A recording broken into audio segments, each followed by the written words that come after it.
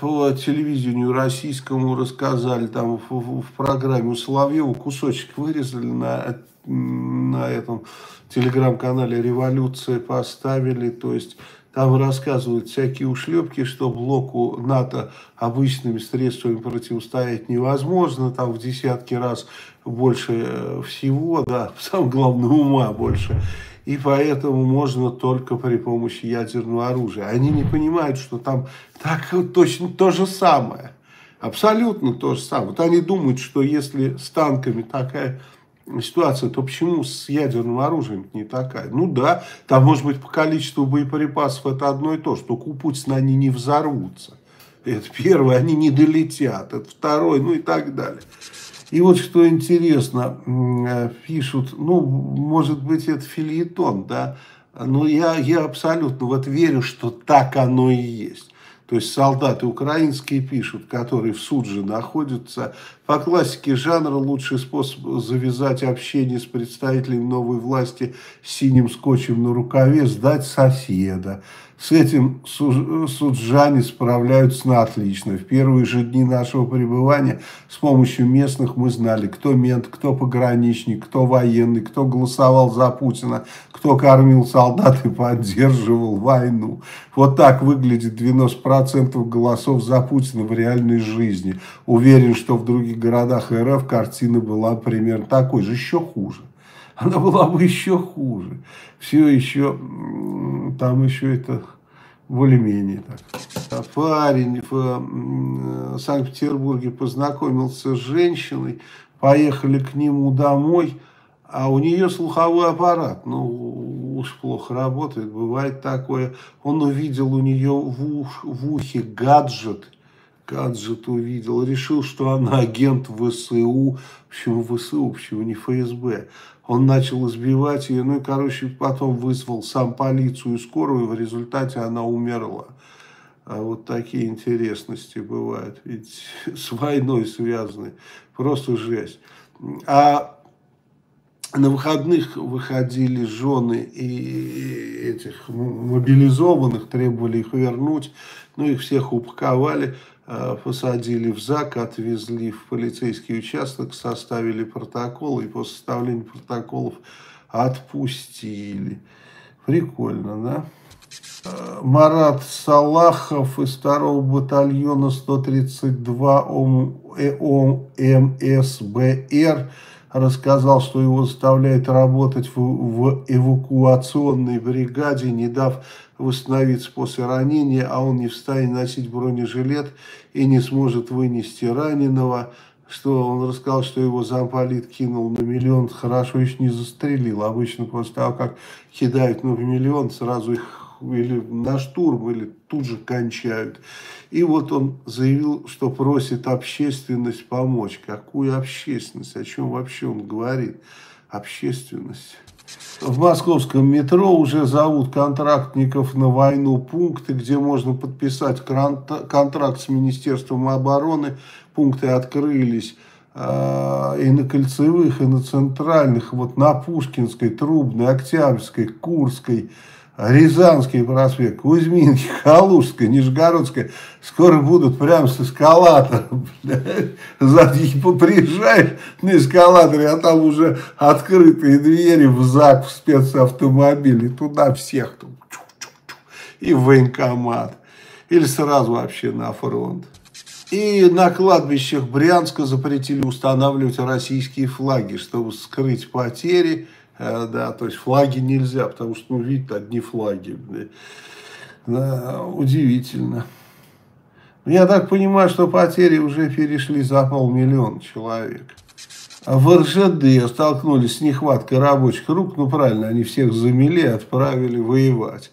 А теперь вот они нанимают мигрантов из Африки. Но у мигрантов из Африки тоже есть определенные проблемы. То есть их могут на РЖД нанять, а могут также, они что-то подписали и уехали на это СВО. Они тоже туда попадают.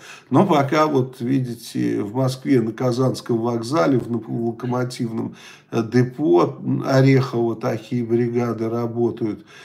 И так, очень, из Кении, из Кении они Вот там много, в лесах Кении много паровозов, тепловозов, электровозов. Они там научились. Сейчас они будут великолепно работать. Вы понимаете, что будет на железной дороге? Сейчас джамшуты, равшаны, вот эти вот с Африки придут, бля, там, будет, там, там и партизаны будут не нужны. А так что надо усилиться усилиться на железной дороге. Тут осталось совсем чуть поднатужиться. Сейчас эти ремонтировать африканцы начнут, тогда вообще будет на золотую.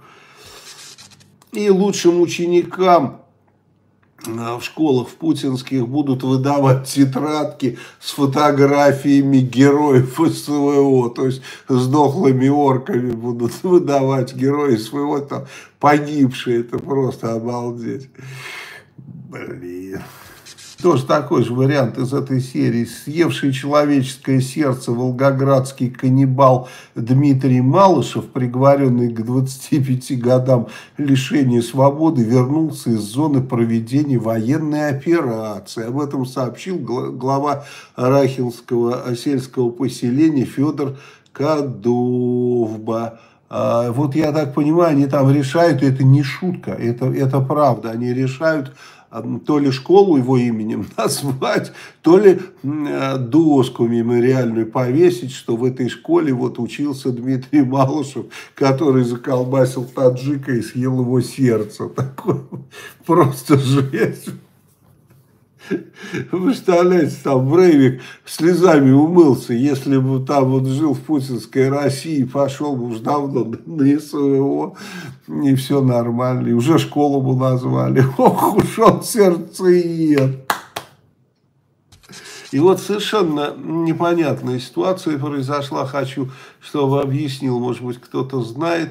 Як-130 вооруженных сил России вошел в воздушное пространство Украины в Житомирской области, да, и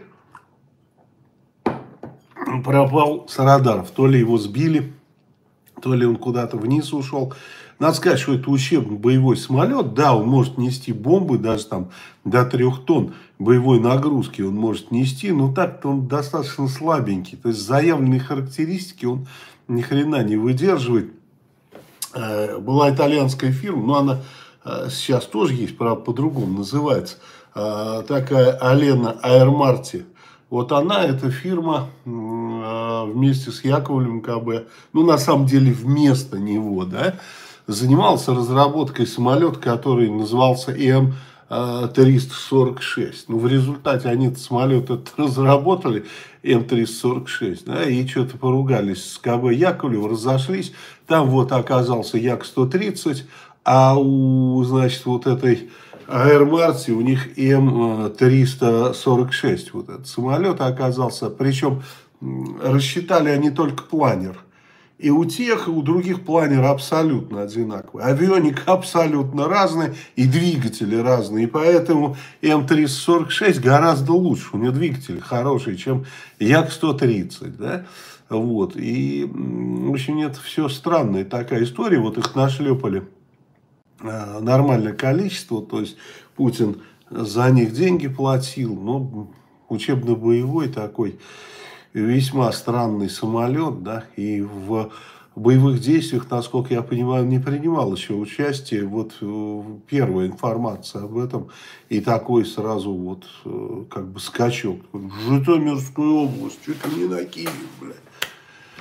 Интересно, то ли его угнали, я бы хотел знать, и пилот сел там где-то, то ли ну, прорываться в Житомирской области через ПВО навряд ли бы он стал. Это смерть подобно. Ну, может быть, как. Кто-то, кому-то поставлена была такая задача, и, и он исчез с радаров. Так что хочется больше информации.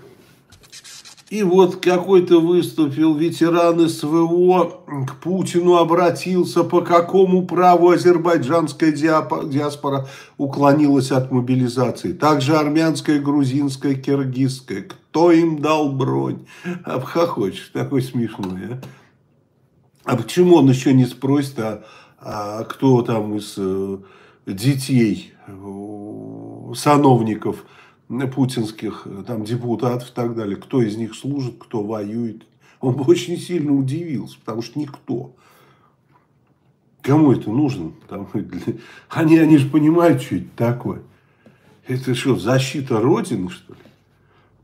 И неофеодализм у Путина, он, как и все, кривое. Да? То есть, феодальное общество каким образом существовало? Да? То есть, был монарх, а дворяне служили. Главное условие было да, того, что они дворяне, того, что они имеют наделы там, в виде фьодов, да, какие-то бенефиции и прочее. Это их служба. Да, они должны были содержать какое-то воинское подразделение или соединение и прочее. прочее. А Путин даже его феодалы просто ворует и все, больше ничего не делают. Песков младший типа воевал. Конечно, но я думаю, что это специально нарисовали в одну. Но это только один случай, исключение из правил. Здесь нарисовали только. Как я помню, а, был один там богатый человек в Саратове. И э, своего сына он решил отправить в армию, ну формально, чтобы у него там военный билет был. И вот он пришел присягу принимать в гражданке просто. Пришел в часть в гражданке, расписался, что он принял присягу, и на джипе его увезли. И все, больше он никогда там не был. Кстати, в Энгельсе, это в воинской части, в дивизии дальней авиации, там он служил. Мне отец рассказал, что при оккупации Смоленска в 1943 год, когда то, то же самое местные подходили к ним, создавали членов партии ВКПБ. Конечно, а как же так, так и было. Очень часто. А помните, как этот анекдот по этому поводу хороший есть, когда а, немцы вывесили а, плакат, значит, что 200 тысяч рейхсмарок тому, кто сдаст партизан, там их место дислокации, там, и корову. И чувак пришел такой, говорит, вот партизаны там-то, там-то. Ну, говорит, давайте рейхсмарки и корову. Ну, ему наломали пиздюлей, пинка дали, выкинули. Он идет, чешется. И говорит, да, и корову не дали, денег нет. Да и с партизанами как-то неудобно получилось. Да? С партизанами неудобно получилось. А, добрый вечер. Вы должны это прочитать, чтобы все посмеялись. Человека забрали на СВО, а тут через месяц по-тихому убежал. Ему продолжают платить деньги, он просто в шоке гуляет в Сочи, даже ездил. Вот вы, я не знаю, про кого говорите, я на связи с таким человеком нахожусь. Он вышел на меня с просьбой его эвакуировать. Он убежал. Я говорю, а что ты особо дергаешь. Я ему посоветовал, как э, пойти получить документы. Он получил документы. Ему платят деньги, да, он гуляет, никуда не ходит, в розыск его никто не объявлял, мы пробивали через военный следственный комитет, они про него даже не знают вообще. Так что и таких миллион. Ну, не миллион, но таких много. Если потихо оттуда валит, на начальство очень часто вообще не сообщает. Потому что ну, для них это большой минус. Особенно те, кто числится пропавшими без вести. Пошел туда вперед, на самом деле не вперед, а назад. Кто там знает, вперед или назад ты пошел. И все, и свалил. Только самое главное, отход себе подготовить нормально. То есть, чтобы кто-то помог, чтобы помог выехать и, и так далее. Денег можно дать, да, тем, кто вывезет. И все, вопросов нет, и ушел. Ну, у нас есть случай один, когда было возбуждено уголовное дело за дезертирство. Дело висело год, год. Потом человек пришел в Следственный комитет, ему отдали его документ, включая там военный, а, все, и все. И больше и он ходит, а к нему никаких претензий нет. Никаких. Там дело лежит, все. Они не знают, что делать.